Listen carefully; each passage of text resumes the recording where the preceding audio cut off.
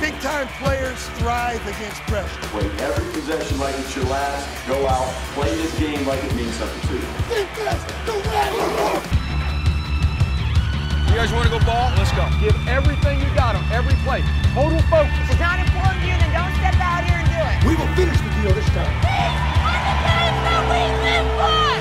I don't feel! Go out and finish this thing. Go